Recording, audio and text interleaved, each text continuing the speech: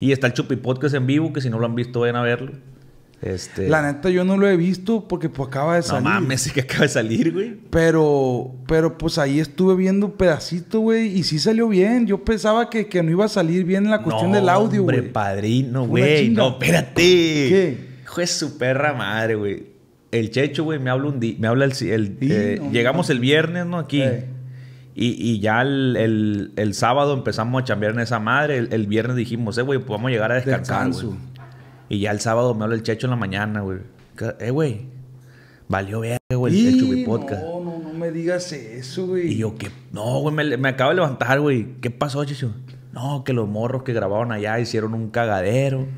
Eh, güey, podrás creer que estos güeyes clipearon todo, güey. ¿Cómo? La neta, si no se nota, es porque el Checho se aventó un buen jale. Ah, o sea que cortaban. Cortaban. Ay, no, güey. Cuando hacíamos show, o sea, cuando nos parábamos, estos No. güeyes cortaban, güey.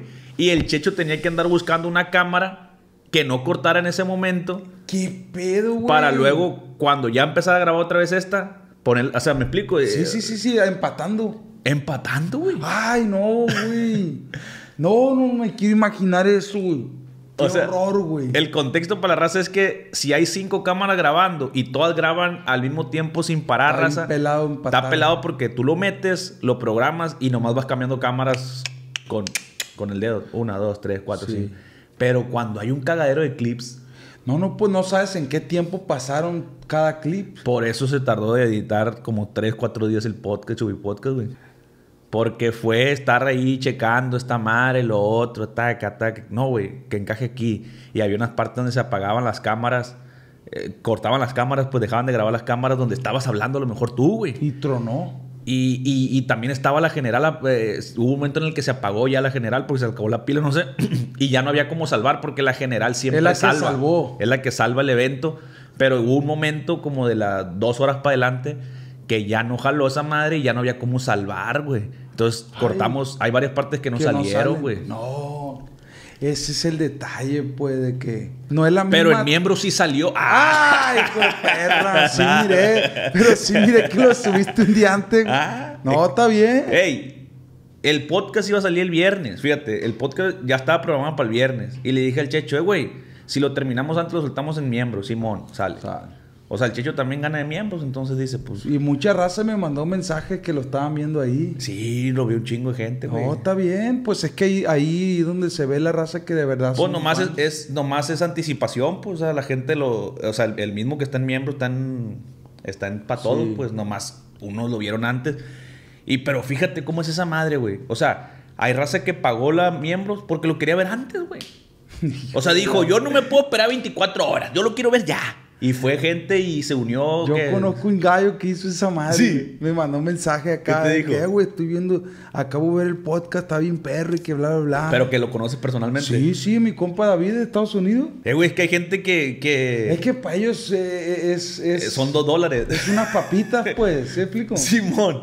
Pero a lo que voy es que, o sea, la única diferencia es que lo ibas a ver un día antes, pues. Ajá. Y hay gente que se unió, pues, en ese día, pues, de que yo lo quiero ver antes, a mí me va Pues está bien mientras, mientras siempre expliques ese rollo, güey, que, que la gente entienda que nomás es como, pues es que si estás Pues tú... es un día antes. Ajá.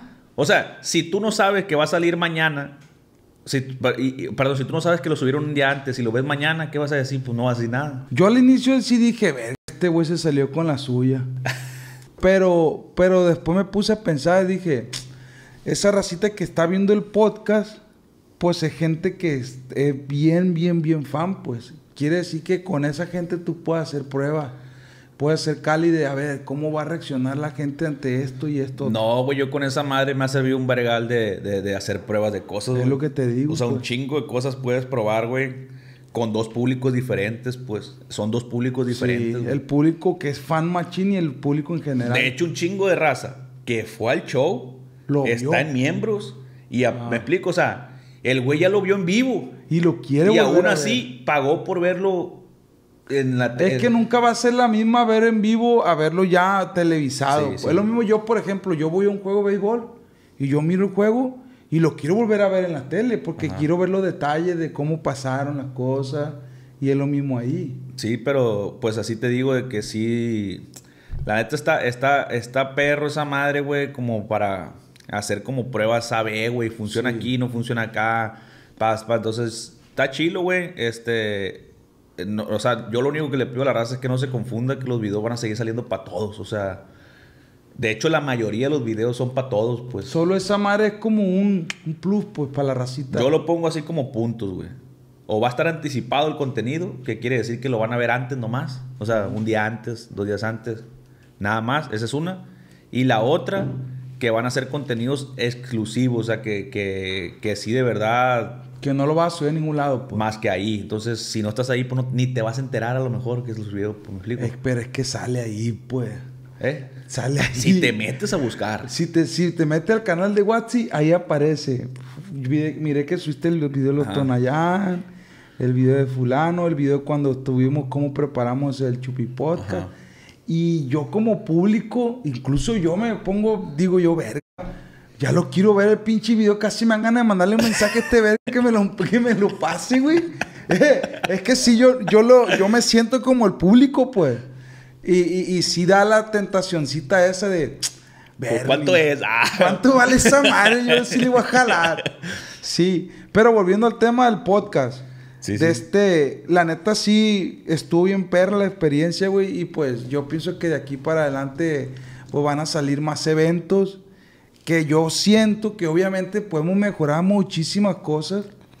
No quiere decir que hayan fallado cosas que, o sea, no hubo errores garrafales. Garrafales no, pero sí hubo muchos Sí hubo errores. errorcitos. Y, y- y- pero, güey, la neta, si no te equivocas, no, no avanza. O sea, no creces. O sea, yo creo que en la vida hay que equivocarse y mucho, güey, para crecer, pues, Sí, sí, O sea, y cada cosa en la que te arriesgas, no sabes lo que va a pasar mañana, como dijo Bad Bunny.